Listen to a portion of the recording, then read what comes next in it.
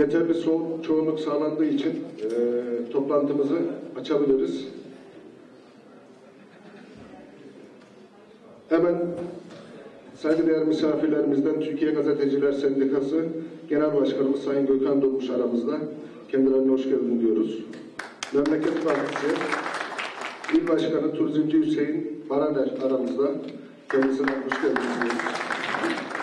Türkiye'nin dört bir tarafından gelen Türkiye Gazeteciler Federasyonu'na bağlı e, cemiyet başkanlarımız ve saygıdeğer delegelerimiz hepiniz Türkiye Gazeteciler Federasyonu'nun 10. olağan genel kuruluna hoş geldiniz, şeref verdiniz.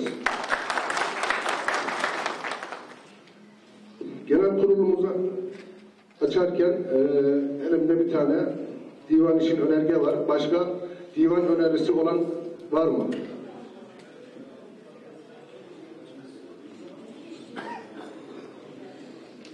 Sanırım yok başka. Elimdeki önergeyi okuyorum.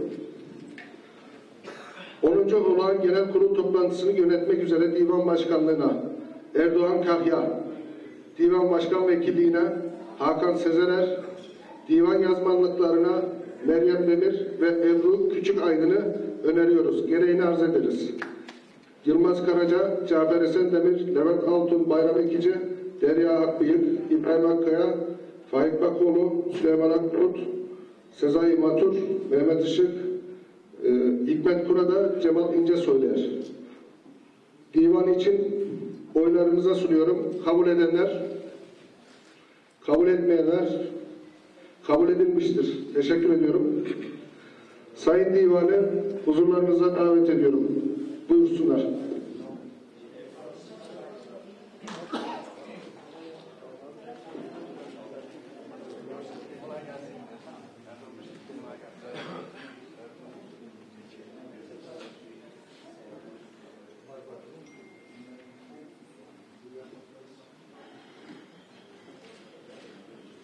Türkiye Gazeteciler Federasyonu'nun 10. olan genel kurulu mesleğimiz ve meslektaşlarımıza şimdiden hayırlı olmasını diliyor. Saygı ve sevgilerimi sunuyorum. Teşekkür ederim.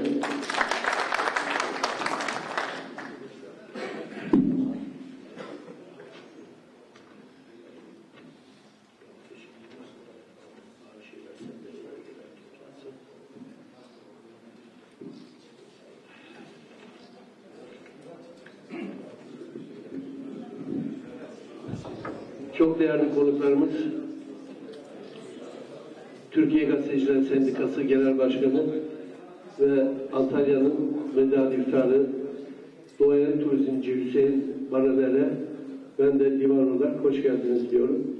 Öncelikle e, Antalya'dan ve Alanya'dan gelen meslektaşlarımız var. Onlara da hoş geldiniz diyorum. Değerli arkadaşlarım öncelikle bana ve divandaki arkadaşlarımıza gösterdiğiniz güven için hepinize ayrı ayrı teşekkür ediyorum.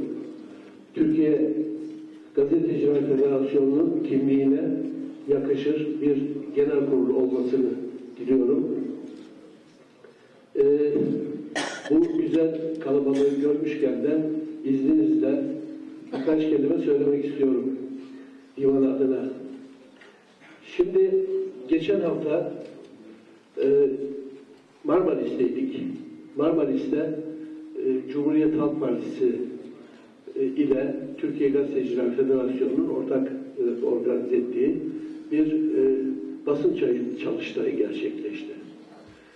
Diğer her toplantıda olduğu gibi bu toplantıda da basının sorunları masaya yatırılırken, çözüm önerileri aranırken sadece siyasi partiler, siyaset kurumu, siyasetçiler ve iş adamı patronlardan şikayet edildi. Aslında bugüne kadar çuvaldızı biz hiç kendimize batırmadık. Hep karşı taraftakilere batırdık. 12 Eylül sonrası iş adamları daha çok para kazanmak, kendi işlerini daha rahat götürebilmek için medyaya girdiklerinde ilk yaptıkları iş hepimizin Türkiye Gazeteciler Sendikası'ndan istifamızı istemeleri oldu. Ben o dönemde hürriyette çalışıyordum ve hepimiz noterlere giderek istifa kuyruğuna girdik adeta. Kimseden çok az ses geldi. Büyük grup istifa ederek bu mesleğin örgütlenme hakkını kendi elleriyle patronlara teslim ettiler. Ar- ardından bu insanlar istifa etmeyenleri işten çıkardı. Aralarında yaptıkları centilmenlik, sözde centilmenlik anlaşmasıyla bir gazeteden işten çıkarılan kişi başka bir gazeteye alınmadı. Bizden gene ses çıkmadı o işsizler için. Daha sonraki yıllarda sansür ve otosansür geldi gündeme ve patronların, siyasetçilerin baskılarıyla biz makale yazamaz, yazı yazamaz, haber yapamaz duruma geldik. Muhabir daktilosunun başına geçti. Acaba hakkında yazı yazacağım adam bizi patronun yakını mıdır, akrabası mıdır, dostu mudur diye bir korkuyla gazetecilik yapmaya başladı. Yani editoryal bağımsızlığımız da elimizden alındı. Gene bizden tık yok. Dinç Bilgin Sabah gazetesinin sahibiyken yine çalışan gazetecilerin arzuları, istekleri ve yönlendirmeleriyle banka satın aldı. Çok iyi biliyorum o dönemde sabahta çalışıyordum. Dinç Bilgin ben bankacılık yapamam kardeşim benim işim değil demesine rağmen ona bankayı aldırdılar ve basında, medyada yaşanan zafiyet patronların, gazete patronlarının bankaları, yatları, katları çoğaldıkça zafiyet de kendiliğinden e, akmaya başladı. Basın özgürlüğü halkın haber alma ve bilgi edinme özgürlüğünü kullanmakta olan gazeteci arkadaşlarımız maalesef basın özgürlüğünün de yerlere serilmesi konusunda adeta çaba harcadılar ve sonuçta gördük yandaş medya ve yandaş gazeteciler oluştu. Şimdi 212 sayılı yasanın çıkış tarihi olan 1960 10 Ocağı ve sansürün ilk kez kaldırılışının 1908 yıl dönümlerini biz bayram olarak kutlamıyoruz ama bu devleti, bu ülkeyi yönetenlerin hepsi o gün açıklamalar yaparak basın özgürlüğü dersleri, fetvaları veriyorlar. 212 sayılı basın iş yasası 1963 yılında dönemin Çalışma Bakanı Bülent Ecevit tarafından büyük onu büyük gayretleriyle çıktığında e, Baba'daki gazete sahipleri bunu bu kararı protesto için üç gün süreyle gazetelerini çıkarmadılar. O zaman işte gazeteciler arasında birlik ve beraberlik vardı. Üç gün süreyle Türkiye Gazeteciler Sendikası bütün Türkiye'de dağıtılmak üzere hükümetin de desteğini alarak gazete çıkardı. O insanlar nerede şimdi? Biz neden onlar gibi olmuyoruz? Seçim kaybeden dernek başkanı hemen ikinci bir cemiyet kuruyor. Seçim kaybeden federasyon başkanı ikinci bir federasyon ya da konfederasyon kuruyor.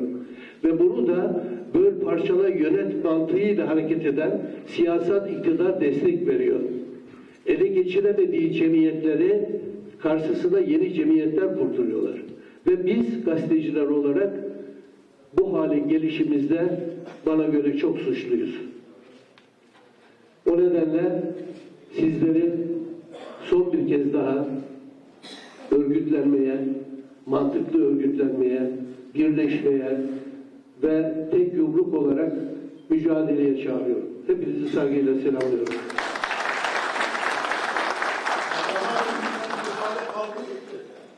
Kesin mezara kaldı mı? Evet. Şimdi e, şu bakıyorum Sayın Genel Başkan bana dört sayfalık bir davetli listesi verdi. Bu davet listesine iki değerli kişi icabet etmiş.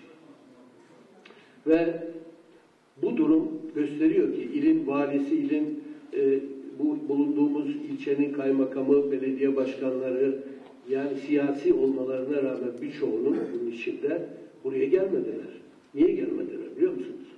gazeteciliği saygınlığı kayboldu. Gazeteciliği saygınlığı ayaklar altına serildi. O nedenle de gazeteciyi pek ciddiye almıyorlar. Onun için buraya gelen konuklarımıza bir kez daha teşekkür ediyoruz. Yalnız bir e, telgraf e, var. Onu sizlerle paylaşmak istiyorum arkadaşlar. E, iki telgraf var. Birisi Dışişleri Bakanı Sayın Mevlüt Çavuşoğlu'ndan e, nazik davetiniz için teşekkür ediyorum. Çok arzu etmeme rağmen yurt dışı programım nedeniyle Türkiye Gazeteciler Federasyonu'nun 10. olan genel kurul toplantısına katılamıyorum ve şahsınızda tüm davetlere sevgi ve selamlarımı sunuyorum. Mevlüt Çavuşoğlu Dışişleri Bakanı. Bir de Eskişehir'den Tepebaşı Belediye Başkanı Sayın Diştap ve Ahmet Ataç'tan var. O da hepinize başarılar diliyor, saygı ve sevgilerini sunuyor. Şimdi gündeme geçiyorum arkadaşlar. Ee, önce e, bir video hazırlanmış. Arkadaşlar hazırsa onu bir izleyelim. Daha sonra Sayın Genel Başkanım Aa, pardon özür diliyorum, özür diliyorum. Bir dakika, tamam. Şimdi o zaman gündemi okumadım ben. Evet. Şimdi gündem yoklama ve açılış yapıldı. Divan kurulu seçimi yapıldı. Saygı duruşu ve İstiklal Marşı okunacak. Sonra e, tamamını okuyorum gündemin. Yönetim kurulu faaliyet e, raporunun okunması, denetim kurulu faaliyet raporunun okunması, faaliyet raporunun müzakeresi ve ibrası, denetleme kurulunun müzakeresi ve ibrası, tahmini bütçenin okunması ve kabulü, tüzük tadilatının görüşülmesi, seçimler, dilek ve temenniler, kapanış. Bu gündeme eklenmesini istediğiniz herhangi bir madde var mı arkadaşlarım? Olmadığına göre gündemi tümüyle oylarınıza sunuyorum. Kabul edenler, etmeyenler oy birliğiyle kabul edilmiştir. Teşekkür ederim. Şimdi Ulu Önder Mustafa Kemal Atatürk silah arkadaşları ve ebediyete intikal eden meslektaşlarımız gazeteciler için hepinizi bir dakikalık saygı duruşuna davet ediyor. Ardından İstiklal Marşımızı hep birlikte okumaya çağırıyorum.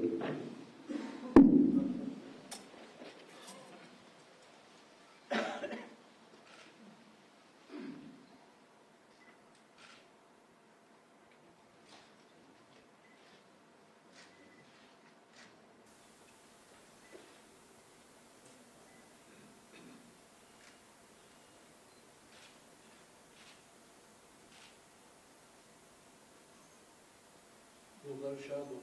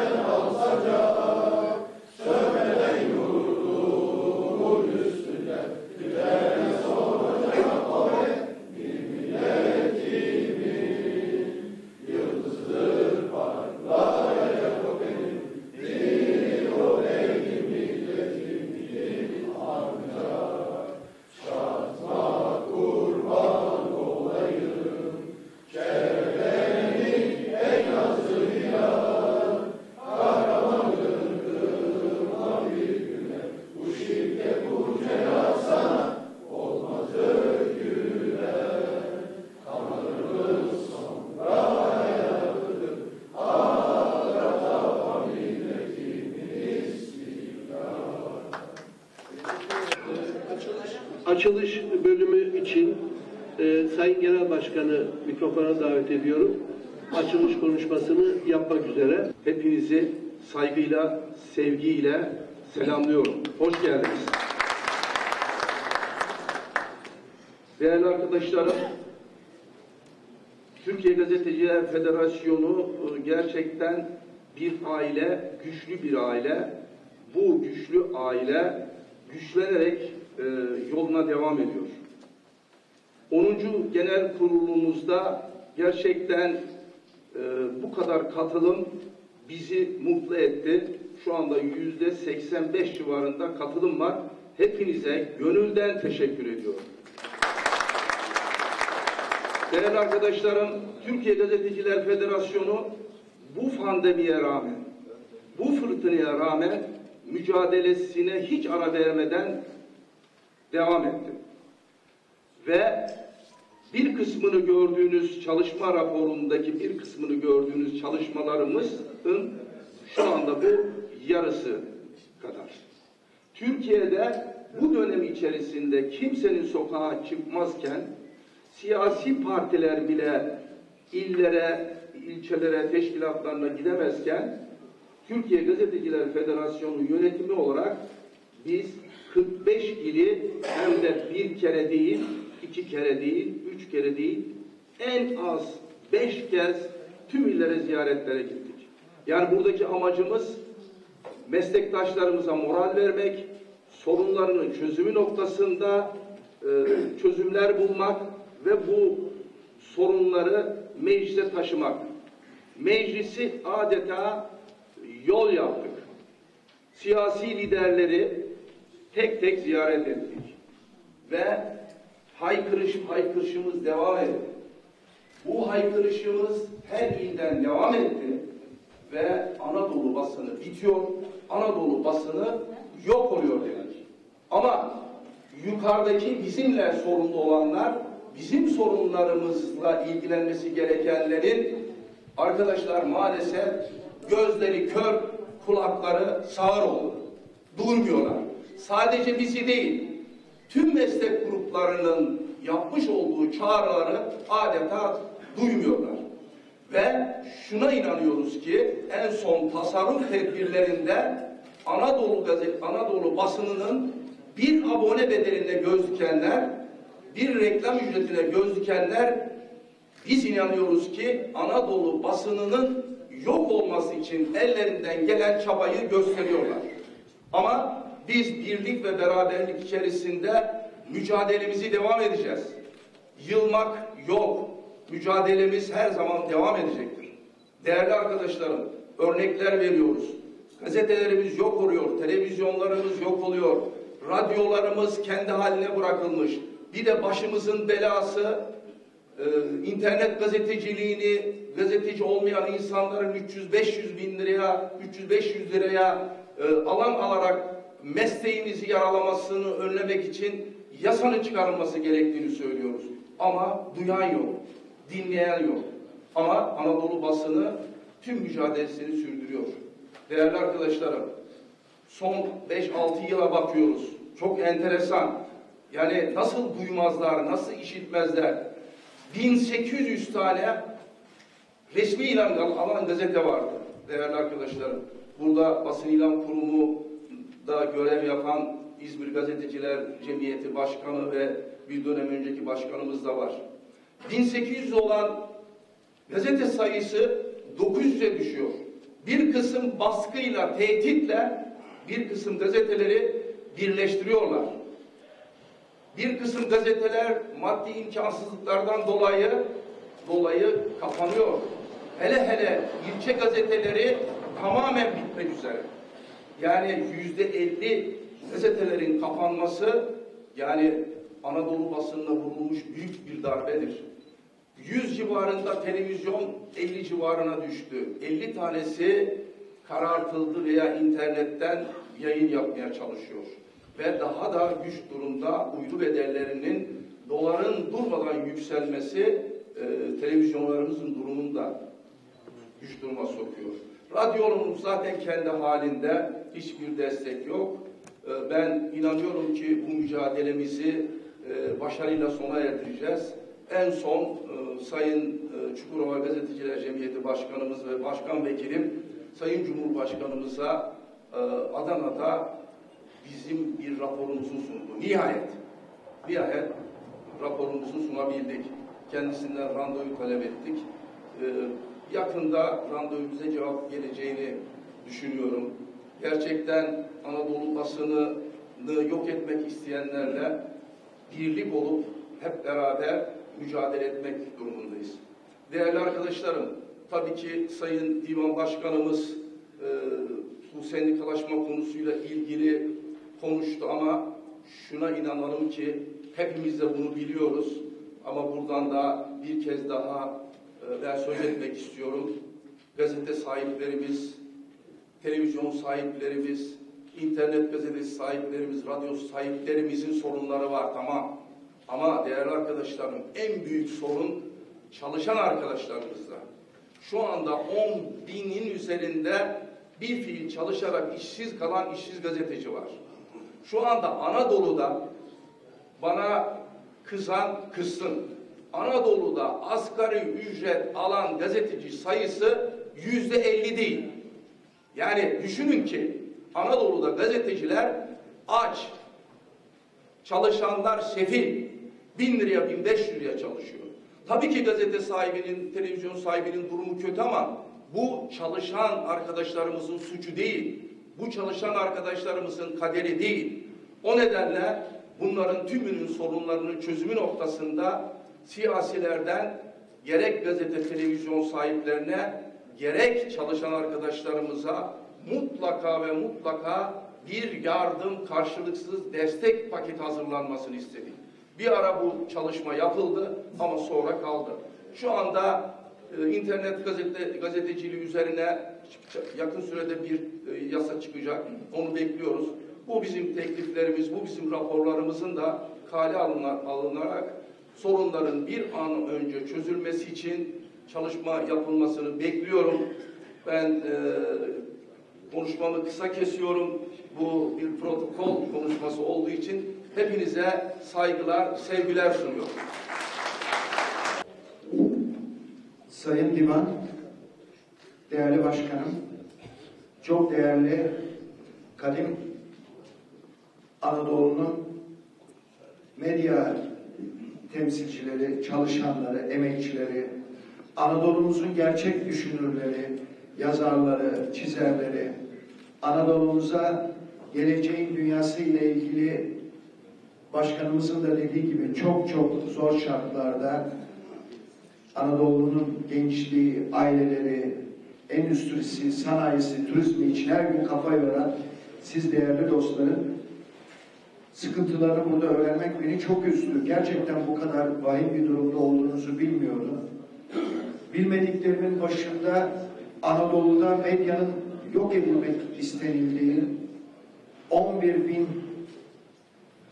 basın emektarının işsiz kaldığını, daha doğrusu bırakıldığını, işi olanların da neredeyse karın tokluğuna 1500 TL'ye bugünün parasıyla çalışmak durumunda kaldığını, bazılarının çoğunun beni gerçekten sabah sabah burada bu güzel Antalya, Alanya'da e, yaraladı. Değerli dostlar, ben çok kısa konuşacağım. Gerçi dertler o kadar komprime oldu ki Türkiye'de onları uzun uzun anlatmaya gerek de kalmadı. Çünkü çok yoğun olarak tartışılıyor, çok yoğun olarak söyleniyor. Türkiye'de artık bütün sektörlerde, sadece basın sektöründe değil, diğer tüm diğer sektörlerde de bir haykırış başladı. Kimse yaptığı işten, yaşadığı hayattan, geldiği durumdan ve yaptığı verimlilikten ya ürettiğinden memnun değil. Niye değil? Çünkü neredeyse düşünmek yasaklandı bu ülkede. Siz değerli gazeteciler olarak kendiniz diyorsunuz, düşündüğünüzü yazamıyorsunuz. Kilitleniyorsunuz veya yazdıklarınızın üzerine çok hissedilir bir şekilde en azından ekonomik baskı uygulanıyor. Bunlar sizin sözleriniz. Bu anlamda belki şunu söylemek istiyorum bugün burada davetliniz olarak. Bakın yepyeni bir dünyaya başladık. Dünya insanları olarak. Aynı şekilde Türk insanı olarak, Anadolu insanı olarak. Artık akıl, beyin özgürlüğü, düşünce özgürlüğü o büyük sanayi yaratıyor. El emeği, kol gücü bunlar bitti.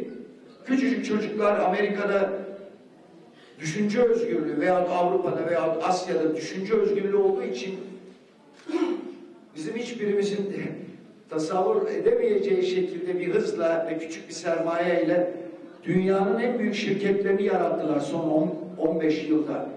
Hepinizi sevgi ve saygıyla selamlıyorum.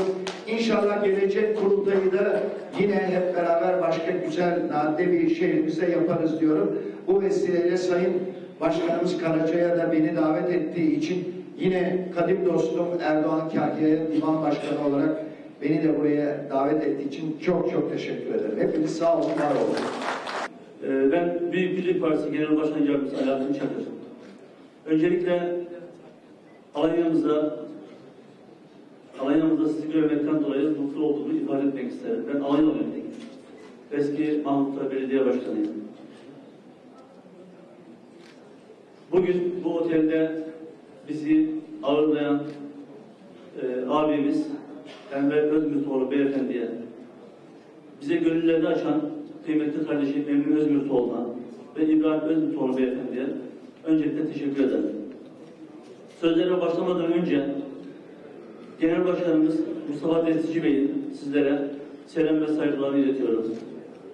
Toplantınızı e, hayırlı olsun dileklerini ilettiler. Ben buradan size de iletmek istiyorum. Sayın Başkan, bizi toplantıya davet ettiğiniz için bugün de çok teşekkür ediyorum. Evet, Türkiye ile ilgili, Türkiye'nin gündemiyle ilgili söylenecek çok şey var.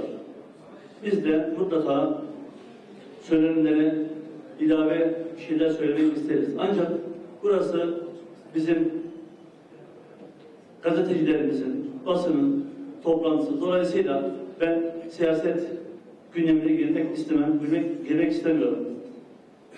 Ancak bizim siyasi şiarımız, yani Büyük Birlik Partisi siyasi şiarı hakikatle siyaseti birleştiren bir çizgide biz siyaset yapıyoruz. Davamız da bu yöndedir. Bizim davamızda hakikat ve siyasetin neticesi ilahi kelimatınadır. Dolayısıyla bu mefkureyle biz siyasetimizi yapıyoruz. Biz şunu isteriz Türkiye olarak. İdealimiz şu. Bizim belki ekmeğimizde bir parça kaybedebiliriz. Belki ekonomik olarak birazcık daralabiliriz. Bizim idealimiz vatanımızdan bir çakı taşı gitmesin, bayrağımız inmesin. Bizim idealimiz bu. Biz devletimizin istiklali, milletimizin istikbali için çalışıyoruz. Bu vesileyle bugün burada 10. Genel Kurulu yapan kıymetli gazetecilerimize ve bugün tekrar seçilen kıymetli başkanımıza, kıymetli yönetimine ben tebrik ediyorum. İnşallah Türkiye'deki Türkiye gazetecileri, basın sektörü, basın mensuplarımız kalemlerini hakikaten ayrılmazlar. Bu vesileyle ben tekrar tekrar teşekkür ediyorum, tebrik ediyorum. Sağ olun. Sayın Divan, değerli delegeler, meslektaşlarım, hepinizi Türkiye Gazeteciler Sendikası adına saygıyla, sevgiyle selamlıyorum. 10. olan genel kurulun hayırlara vesile olmasını temenni ediyoruz. Sorunlarımız, sıkıntılarımız günlerdir e, bunu düşünüyoruz. Geçen hafta Marmaris'te de bunu uzun uzun tartıştık. E, sağ olsun Divan Başkanım e, benim birçok söyleyeceğim şeyi söyledi. Ben biraz onun bıraktığı yerden devam etmek istiyorum. Ee, evet geçmişte hatalarımız var. Geçmişte meslek büyüklerimizin bu sektörün bu hale gelmesinde katkıları var. Sahip hem mesleğe hem sendikalarına sahip çıkamamaktan kaynaklı katkıları var.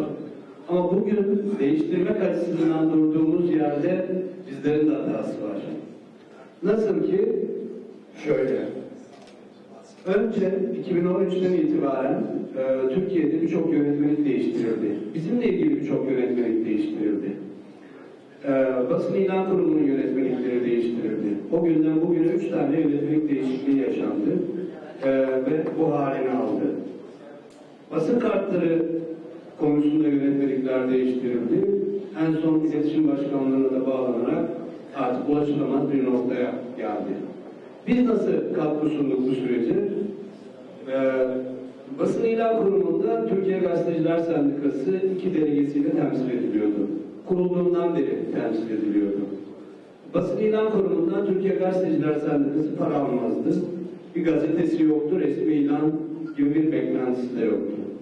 Dolayısıyla resmi ilanların yani basın ilan kurumunun varlık kuruluş amacı olan adil dağıtılması, iktidarların medya bir baskı aracı olarak kullanmaması, kamu reklamlarını e, diye adil dağıtılması için, için kurulan e, basın ilan kurumunda ilanların adil dağıtılması için mücadele edebiliyorduk ve o içerideki bu mücadelede öncülük yapabiliyorduk. Sonra biz ne yaptık? Ee, 2013'te önce yönetmeni değiştirdiler. İş kolunun en büyük sendikası dediler. Ee, ve matbaacılar iş kolumuz birleştiği için matbaacılar basın ilan kurumunda yer aldı. Geçen hafta Marmaris'te olanlar hatırlayacaktır. Basın sendikamızın genel başkanı Savaş e, Nigar da o e, basın ilan kurumunda yer aldı. Ve bilmediği bir sektörde dolayısıyla bir e, adil dağıtım mekanizması için mücadele edemedi. Ee, daha sonra bizlerin de, sizlerin de e, hepimiz biliyoruz e, Türkiye Gazeteciler Sendikası'nı bölmek için kurulan bir sendikanın büyümesi basın ilan kurumunda basın kartları komisyonunda yer alması için hepiniz üyelik çalışmaları yaptınız. Bulunduğunuz kentlerdeki gazetecileri o sendikaya üye yaptınız. Şimdi o zaman hemen her gün arayan, e, yanlış hatırlamıyorsam Kayseri'den e, bir delege arkadaşımızla sohbet etmiştik. Her gün arıyordu artık aramıyor. Çünkü artık ihtiyacı yok. Oraya girmek için size ihtiyacı vardı. Bugün ihtiyacı yok. Mesleğin sorunlarını çözmek gibi bir derdi yok çünkü. Çünkü mesleğin ileriye dair bir hedefle oraya oturmadılar. Bir sendikayı yok etmek için görev aldılar ama edemediler. Türkiye Gazeteciler Sendikası 1952 yılından beri bu sektörde gazetecilerin hem ekonomik hem sosyal hem de editoryal bağımsızlıkları için mücadele etti. Hepinize çok teşekkür ediyorum. Genel kurulun hayırlara vesile olmasını diliyorum. Ee, biliyorsunuz girişinizde bir e, şey dağıttık. Ben ben size yine bir özet yapmak istiyorum. Değerli arkadaşlarım, Türkiye Gazeteciler Federasyonu e, 18'li 2018 yılında yapmış olduğu kongrede biliyorsunuz iki aday vardı. Çekişmeli bir kongre süreci atlattık ve kol kola girerek ayrıldık. Ama nedendir ki e, Sayın TGS Genel Başkanı da söylediği gibi kaybeden bir dernek kuruyor, kaybeden bir sendika kuruyor. Bu iyi bir olay değil. Ama biz her şeye rağmen bu süreç içerisinde arkadaşlarımızı kazanabilmek için mücadelemizi hep sürdürdük ve Türkiye Gazeteciler Federasyonu'nun isminin ne kadar büyük ve etkili olduğu şu sözlerimle ispatlamak istiyorum. Bu süre içerisinde bizden ayrılmak isteyen, bize soğuk bakan altı cemiyet başkanı, altı cemiyet başkanı değişerek TGF çatısı altına geldi. Yani bu esasında bizim insanlara ters bakmamamız, bana oy vermedin, nereye giderseniz gidin olayını tamamen sildik. Artı biz bu süre içerisinde dört tane cemiyeti ihraç ettik değerli arkadaşlar. Bu ihraç ettiğimiz cemiyetler sadece başkanları var. Sadece. Sadece başkanları var. Arkasında ilinin bir tek üyesi yok değerli arkadaşlar. Ve bunlar bu cemiyetin biz Türkiye Gazeteciler Federasyonu'nun içinde sadece başkan olarak sadece etiketi kullanacak cemiyetleri bu çatı altında tutmayacağız. Mesleğin e, onuru ve şerefiyle oynayan kişileri bu çatı altında tutmayacağız. Tutmamaya devam edeceğiz. Hiç kusura bakmasınlar. Bir ile gidiyorum. Başkana diyorum ki bir valiyi ziyaret edelim, gazeteleri ziyaret edelim, televizyonları ziyaret edelim. Ben gitmem. Ben gitmem. Onların bende üyesi yok. Kaç üyesi var biliyor musunuz arkadaşlar? Kendi gazetesinde çalışan yedi üyesi var. Yedi üyesi var. Üçü de akraba. Böyle cemiyet olur mu? Ve o cemiyetleri üyelikten düşürerek yerisine daha kapsamlı, birleştirici cemiyetler aldı. Bu süre içerisinde değerli arkadaşlarım, bu artık adet oldu. Türkiye Gazeteciler Federasyonu'nun olan genel kurulunun iptali için dava açıldı. Biliyorsunuz ülkemizde adalet çok geç işliyor ve iki buçuk yıl sonra bu dava tabii ki Türkiye Gazeteciler Federasyonu'nun lehine sona erdi. Yani biz e, yönetmenlik, e, dernekler yasasının dışında bir şey yapmamız mümkün değil. Tabii her şey açık olduğu için de dava bizim lehimize son verdi. Ancak değerli arkadaşımlar şunu söyleyeyim ki yani utanılacak bir olay. İçimizde olan insanların bir kısmı ayrılarak Türkiye Gazeteciler Federasyonu'nu PKK'lı FETÖ'cü ilan etti. Böyle bir şey olabilir mi? Hakan Başkan burada. Sivas temsilcimiz.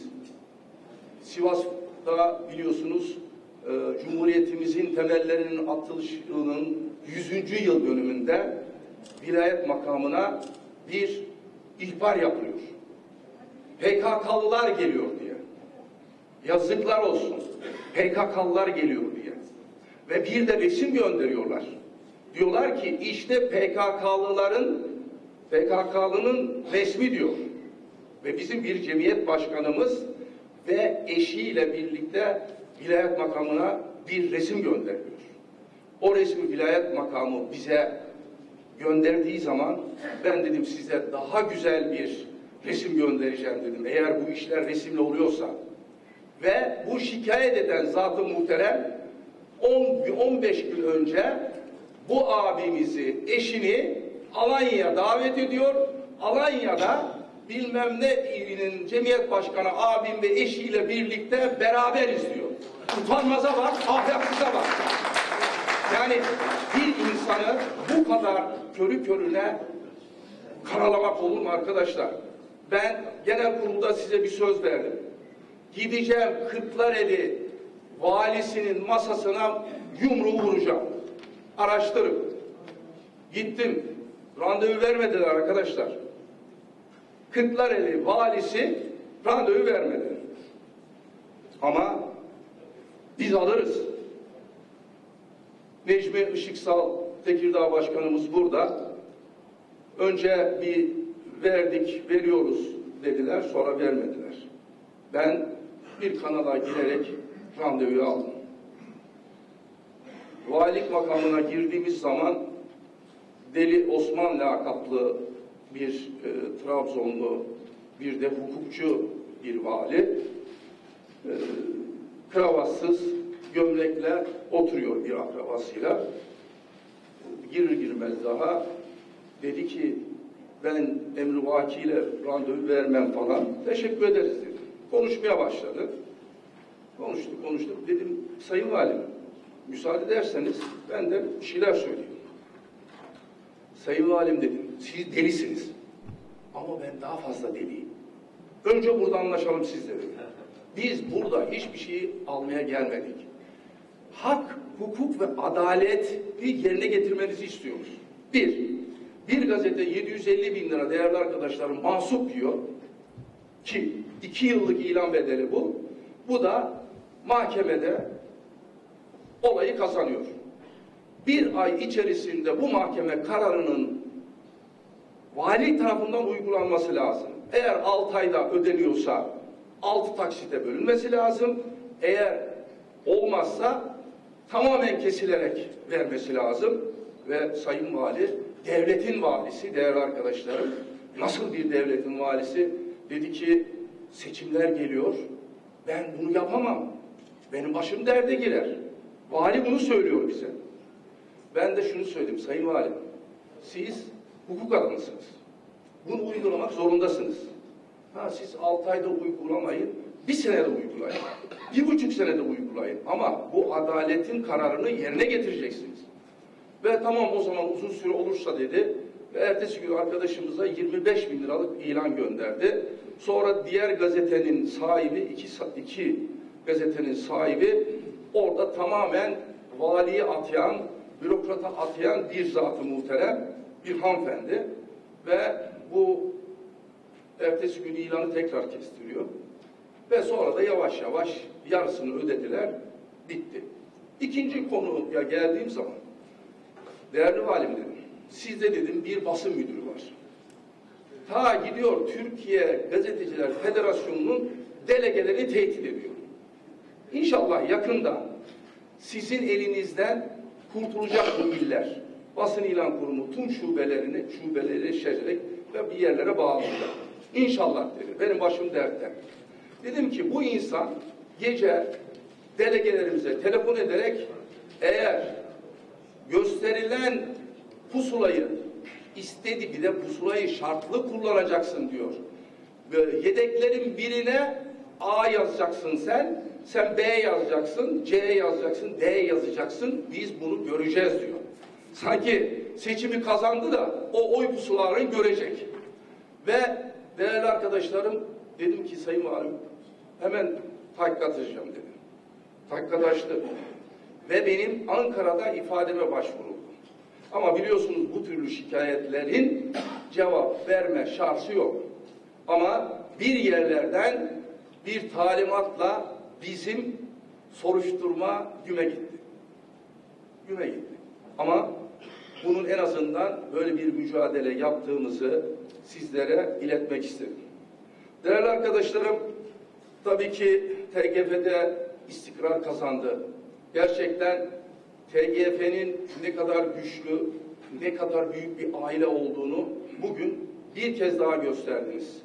Çünkü bugün buraya bu kadar yüzde seksenin üzerinde arkadaşlarımızın gelmesi TGF'nin ne kadar büyük olduğunu ve TGF'nin ne kadar e, gelecekte daha büyük yerlere geleceğini gösteriyor. Bunu kimse e, tersini savunamaz. Biz bu pandemi dönemi içerisinde resimlerinde gördünüz, burada e, okudunuz. Pandemi dönemi içerisinde yönetim kurulumuz gerçekten aralıksız olarak çalışmalarını sürdürdü. Bu arada yapa, dışarıda yapamadığımız toplantıları internet üzerinden yaptık. Gerçekten e, zaman zaman güç durumda kalsak gittik bazı e, teşkilatlarımızın e, tehdit edilen gazetecilerin yanında olduk, meslektaşlarımın yanında olduk. E, arkadaşlarımız, vefat eden çok değerli arkadaşlarımız var. Hepsine Allah'tan rahmet diliyorum.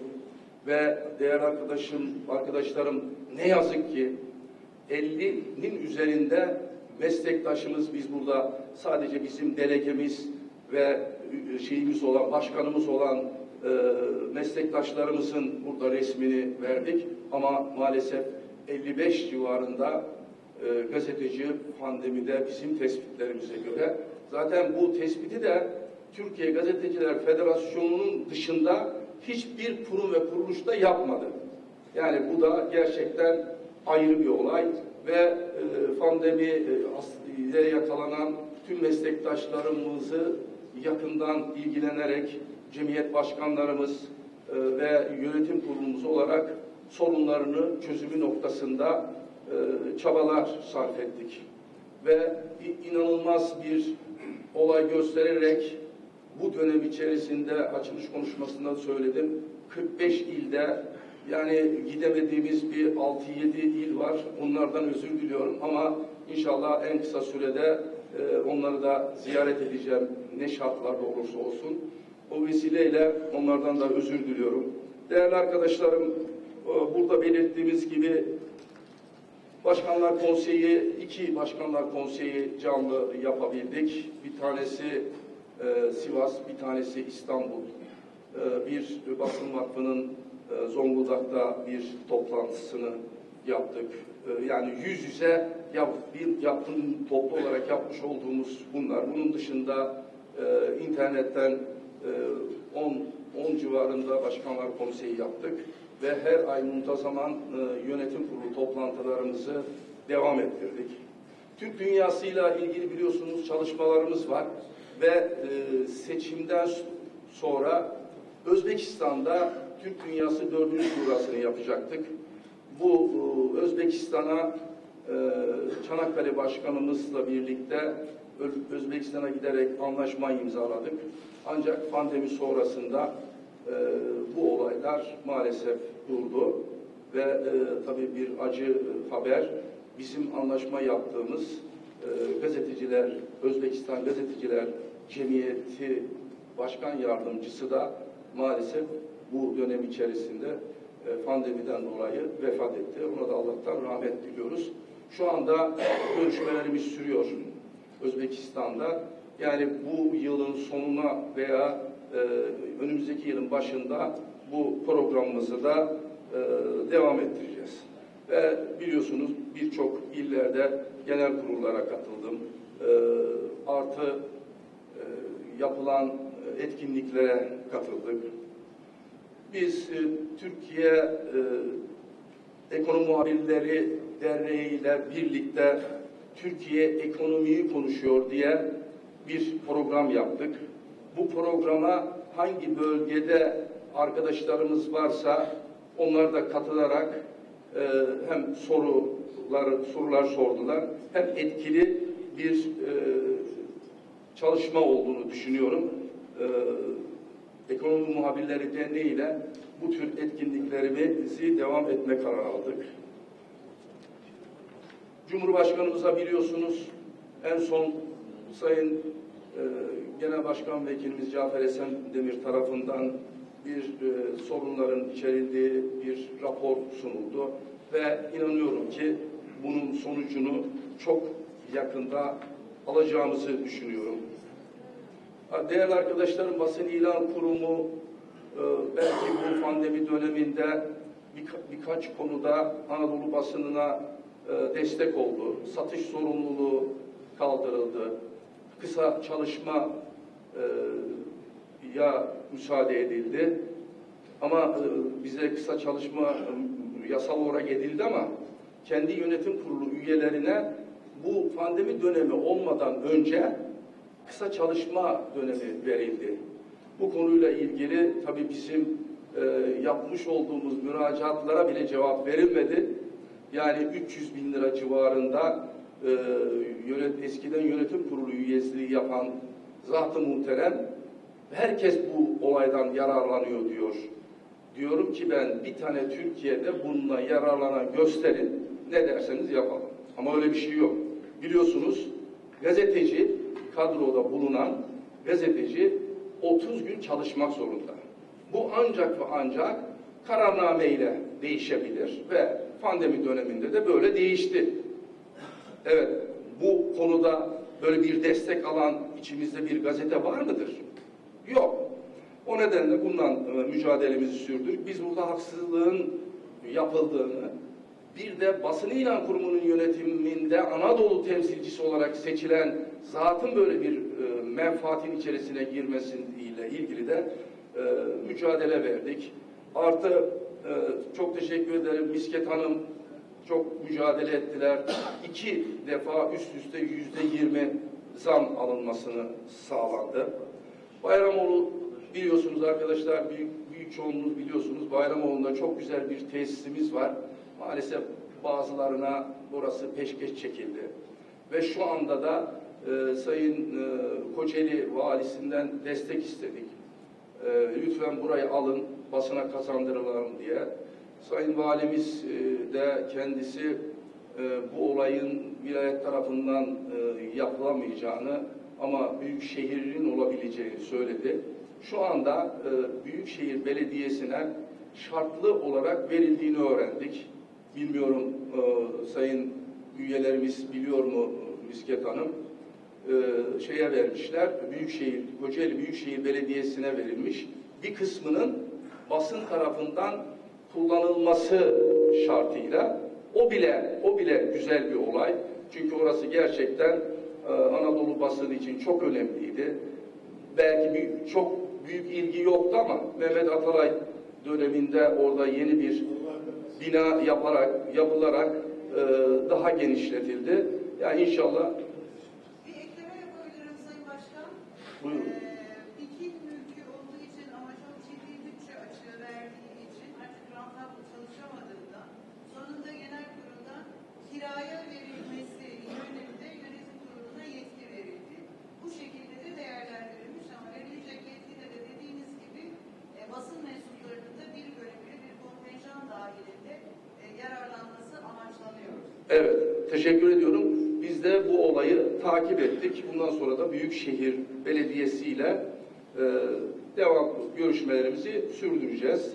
Ee, Sayın Genel Sekreter Yardımcımız Levent Altun olayı yakından takip ediyor. Zaman zaman neler olmuş diye giderek e, tesiste e, geziyor ve bize bilgi veriyor. Ee, ilk defa çok birçok arkadaşımız istemişti. İlk defa e, delegelerimize, tüm delegelerimize bir kimlik kartı e, projesi başlattık ve bu bu olay bu bugün de hepiniz geldiğiniz zaman yeni dönemde geçerliliğini yitirenleri yeniledik. Değerli arkadaşlarım en önemli e, yaptığımız işlerden Bayram Gazetesi. Tabii Bayram Gazetesi bizim için şöyle önemli. Türkiye Gazeteciler Federasyonu'nun giderlerinin karşılanması e, için Bayram Gazetesi şart. Yani biz Türkiye Gazeteciler Federasyonu olarak herhangi bir kurumdan, herhangi bir e, belediyeden bir destek almamız söz konusu değil. Bayram Gazetesi çıkarak bu o, olayı e, götürmeye çalıştık ve pandemiye rağmen çok gazetelerin çok güç duruma ol, olmasına rağmen e, çıkarmış olduğumuz altı gazetede e, geçen dönemin en azından geçen dönemin rakamını yakaladık. Neydi rakamı? 600 bin lira her e, bayram 3 12 bayram 3-6 bayramda e, 600 bin lira bir gelir elde ettik. Bu da bizim için yani federasyonun yaşaması için şu anda yeter bir rakam. Şu anda 194 bin TL e, paramız var. Yeni bir hedefimiz var. İnşallah görevi bize verirseniz şu anda kiraya tutmuş olduğumuz misafirhanemizin de e, yerini satın alarak ikinci mülkü kazandırmak istiyoruz. Yani e, gönül ister ki ikinci mülk değil de daha büyük, daha e, güzel bir yer kazanalım. Ama biz e, mütevaziyiz. Yavaş yavaş bu iki daire olur. Bu iki daireyi e, bir yer bulunur. Bu iki daireyi satarak böyle bir yerde oluşturulabilir. O nedenle böyle bir yönetim kurulunun da bu işten hala haberi yok ama ben e, kendimin düşündüğü bir olay ve bunu da e, yeni dönemde görev verirseniz bu konuyla ilgili de bir çalışma yapacağız. Tabii ki bu arada e, Onursal Başkanımız Atilla Sertel'in değerli eşini kaybettik. E, Allah rahmet eylesin. Onun da e, adı bir e, Bornova'da parka verildi. Onun törenlerine katıldık ve e, değerli arkadaşlarım yani biz bu süre içerisinde gerçekten tüm olayları zamanında müdahale edip e, onlarca haber e, yaptık. Onlarca televizyon programlarına katıldık. Biz büyük bir aileyiz. Katılımınız ve katkınız için çok teşekkür ediyorum. Hepinize saygılar sunuyorum. Rize Gazeteciler Cemiyeti Başkanı olarak Sivas Başkan Yardımcısı Hakan Bey, Sinop Başkanı Servet Bey, Düzce Başkanımız Erol Bey yer almaktayız. Şimdi hazırladığımız raporu okumak istiyorum. Ekim 2018-2021 tarihleri arasında denetleme kurulu raporudur. Türkiye Gazeteciler Federasyonu 10 Ekim 2018 ile Ekim 2021 tarihleri arasını hesaplar tarafımızdan incelendi. İdare binamıza ek olarak federasyonumuzun üye cemiyetlerimizin hizmetine sunulmak üzere kazandırılan misafirhane çalışmaların devam ettiğini tespit ettik ve gördük.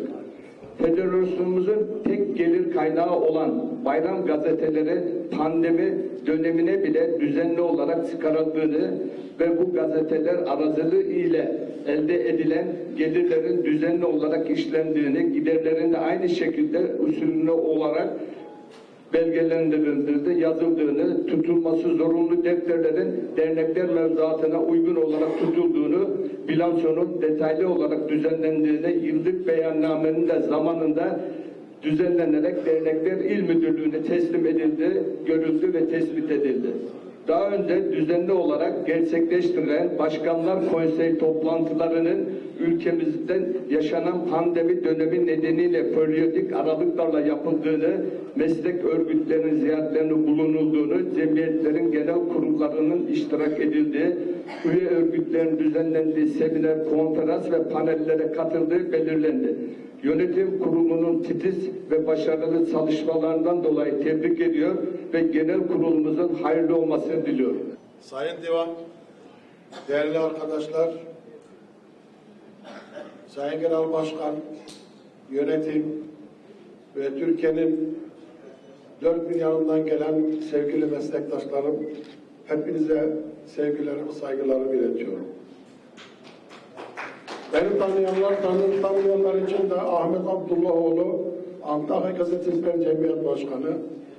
Bu kardeşiniz 1974 yılında mürettiplikte başlayıp bu mesleğe buralara geldik. Tek tek harf dizerek geldik bugünlere. Federasyon evvela girişte yapılan o videodan yapılan çalışmaların bir kısa özetiydi.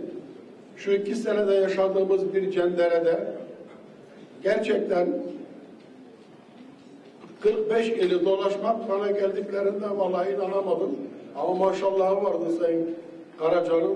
Bayağı dinç. Hatta benden önce de cemiyete gelmişti.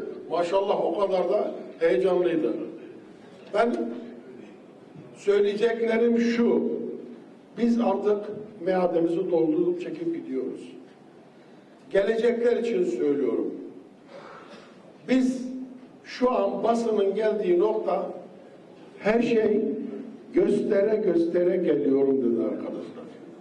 Arkadaşlar bakın gerçekten şu federasyon yönetimi gençler için gerçekten bir şans. Yani biz doldurduk. Hadi ben emekliyim. HSS emekli prim borcum var diye haciz koymuş. Oğlum yetişmiş torunlarım var. Ama yanımda üç beş insan için ben çalışıyorum. Yılmaz Karaca kendisine de çeker gider gider. İşte Erdoğan Kahya ben federasyona 96 yılından beri gelip giden bir kardeşimiz. Her şey mücadele niçin? Anadolu basını için, Türkiye'nin sesi için. Hepinize saygılar, genel kurulumuzun hayırlı vesile olması, genç kardeşlerimizin de Atatürk ülke devremlerden sapmamaları noktasında. Hepinize saygılar. Öncelikle saygılar sunuyorum. Sayın Divan'a da şükranlarımı arz ediyorum. Yılmaz Karaca Başkanımıza ve yönetimine kutluyorum. Efendim, aslında söylenecek çok şey var. Ama ben Türkiye'nin küçük bir ili olarak adledilen Düzce'den geliyorum. Marmaris'e davet edildik. 10 saat yol kat ettik. Orada hazır bulunduk. Alanya'da yapacağız. Manavgat'ta kongre yapacağız dedi arkadaşlarımız, büyüklerimiz. Oraya da 10 saatlik sürenin ardından teşrif ettik. Mutlu olduğumu ifade etmek istiyorum. Burada izle, izleyecektim, dinleyecektim aslında ama Abdullah abimiz e, söz aldı. Ben de bir ili temsilen burada hazır bulunman hasibiyle duygu ve düşüncelerimi ifade etmek gerektiğini inandım. Değerli arkadaşlarım, yaşadığımız sıkıntıyı her birimiz biliyoruz. Federasyon anlamında. Ama yapılması gereken bir takım icraatların da olduğunu düşünüyorum. Eğer bu düşüncelerimi ifade etmezsem yarın bir gün ilime gittiğim zaman arkadaşım sen Düzce'den Manavgat'a gittin, Alanya'ya gittin. Ne ifade ettin? Bizim sıkıntılarımızı anlattın diyecekler. O yüzden ben bunu bir sorumluluk addediyorum. Sayın Başkan ifade etti. 45 ile gittim dedi. Bizim ilimize de geldi. Çok uzak değil Eskişehir'le Düzce arası. O açıdan bize her zaman gelebilir. Yalnız dikkatimi çeken bir konu var. Tabii başkanı hem severim hem takdir ederim. Bunu ifade edeyim. Yönetimin de başarılarını ben takdirle anıyorum.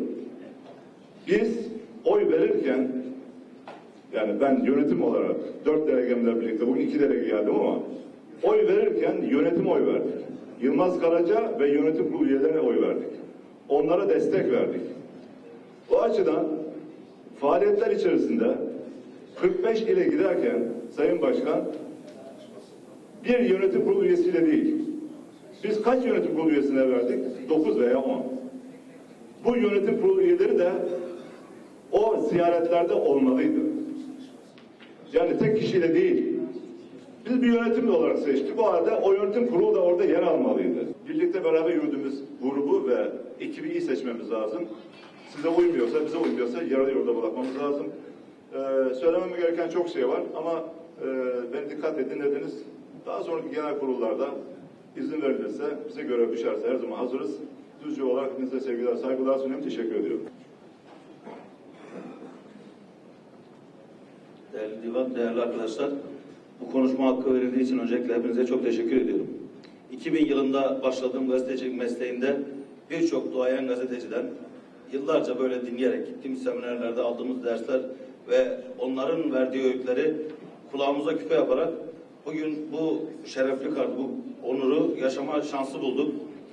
Ancak e, genellikle gazete patronlarının daha doğrusu vasıflı gazete patronlarının dertlerinin aslında Türkiye'de gazeteciliğin derdiymiş gibi aktarıldığı yakın tarihli 2-3 toplantıya ev sahipliği yaptık.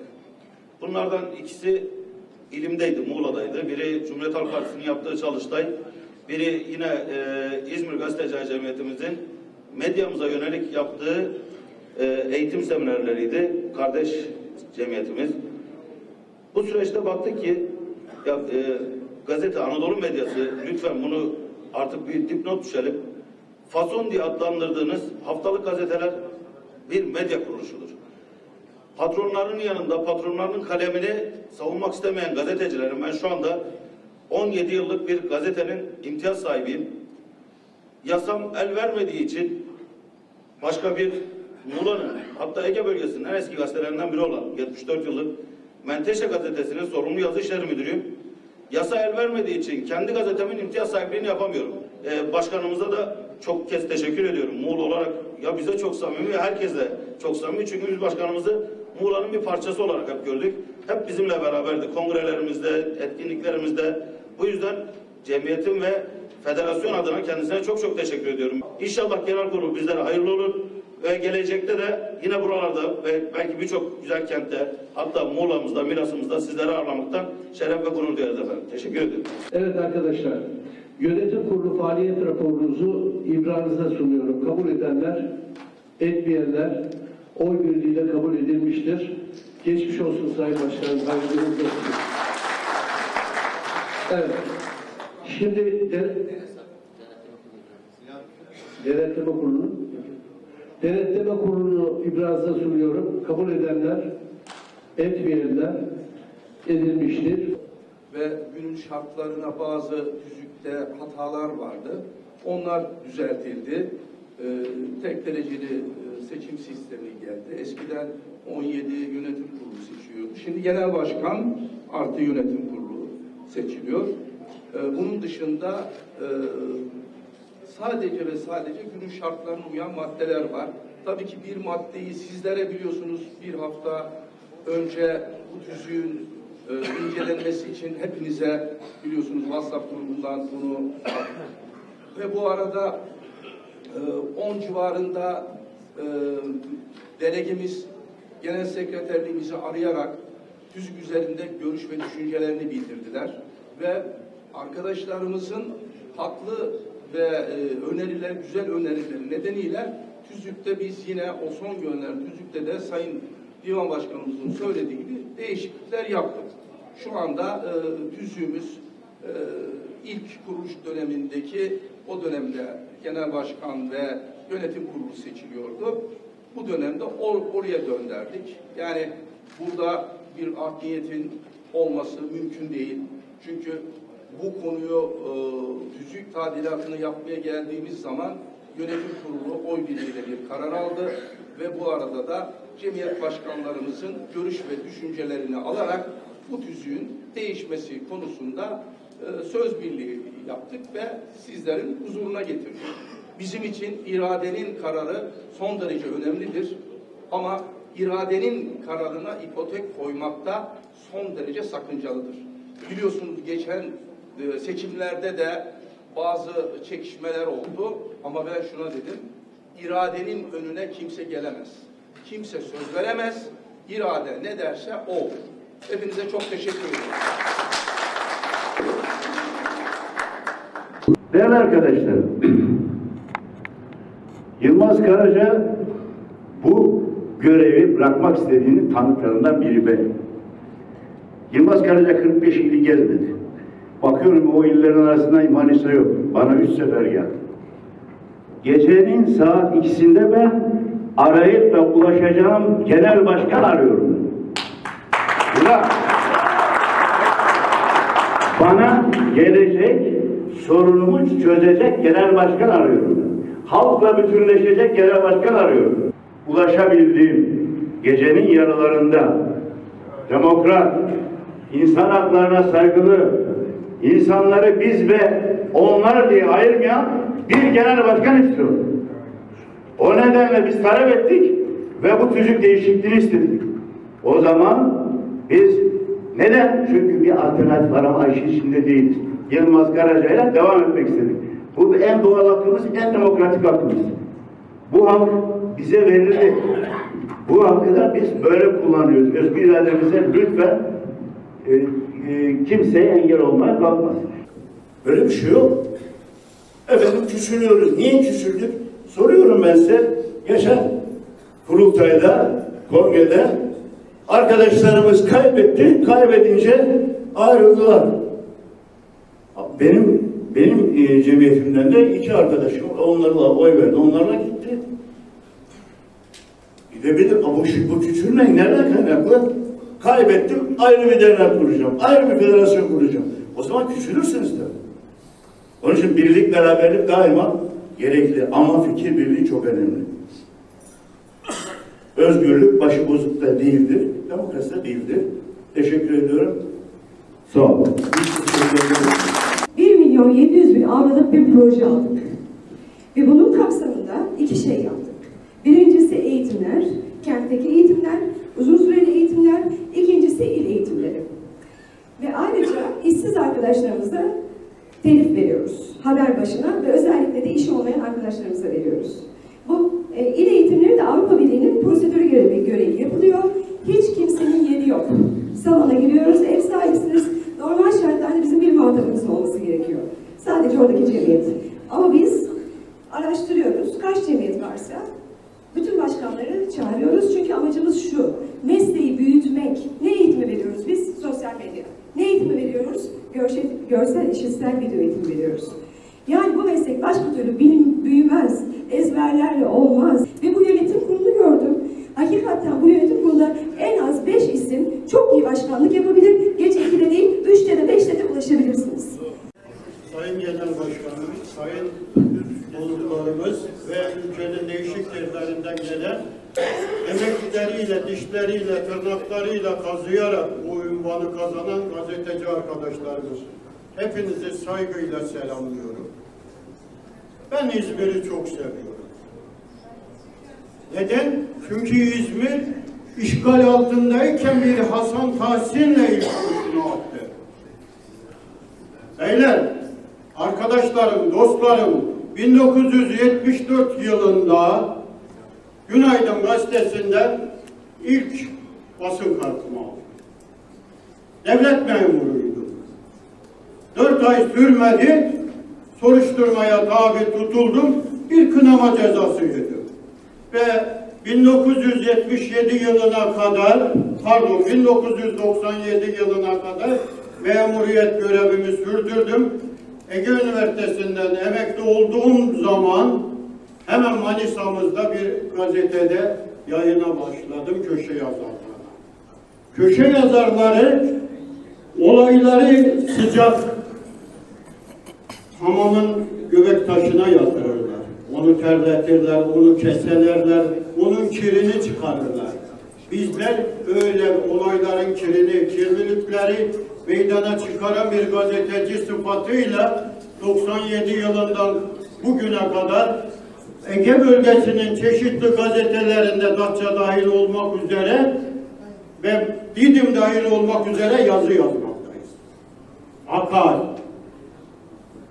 Manisa'daki Gazeteciler Yayıncılar Derneği telefonu açıp da sayın dostum, sayın üyemiz bizim Manisa'mızda bir program var. Bunu İzmir Cemiyetimiz yapıyor. Gelir misiniz dediğinde Didim'den atladım günübirlik oraya geldim. O olayı hiç unutmuyoruz. Madem biz bu Gazeteciler Federasyonu'nun bayrağı altında yüceleceksek, bu bayrağı yükseklere taşıyacaksak, onun aile bütünlüğüne iyi anlayışla hizmet etmeliyiz. İsmet Başar, Artvin Faal Gazeteciler Derneği'nden biz 2012 yılında kurulduk. Tüzüğümüzde böyle iki dönem de yok ama kurucu başkanımız bir dönem yaptı. Devamında ben bir dönem yaptım, üç yıl olarak. Şu anki başkanımız da Kasım ayında genel kurul yapacak. Federasyon başkanımız nezdinde genel kurulumuza da davet ettik. Yani biz tüzükle ilgili olduğu için tüzük bölümünü söyleyeceğim. Çünkü burası dilek ve temenniler en sona atılmış ama her çıkanda dilek ve temennide de bulunduğu için izniniz olursa Sayın Divan Başkanım bir iki cümle söylemek isterim. Bizde tüzüğe işlemiş bir şey yok. Ancak bizde birbirimize saygı var. Şu anda bu salonda olan arkadaşlarımızın diğeri için düşüncelerinde ve söylediklerinde bir adım geri atamıyorsa niye birlikteyiz? Teşekkür ediyorum Sayın Başkan'a ve ekibine başarılar diliyorum. Birbirimiz için bir adım geri çıkmayı yine öneriyorum. Saygılar sunuyorum. Teşekkür ederim. Arkadaşlar, etmeyenler bir, iki, iki e, e, oy çok oy çokluğuyla tüzük tadilatı kabul edilmiştir. Hayırlı olsun.